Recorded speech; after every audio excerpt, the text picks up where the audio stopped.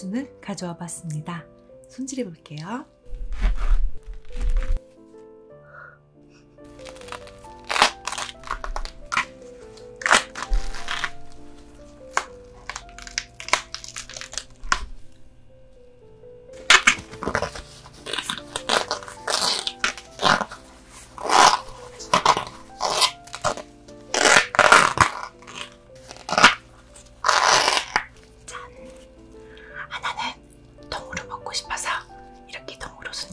손질해봤습니다. 삶아볼게요. 안녕하세요. 오늘은 죽순과 전복을 준비해봤습니다. 맛있게 잘 먹겠습니다. 삶은 죽순이고요. 죽순으로 버터구이를 해봤습니다. 그리고 전복회 얼른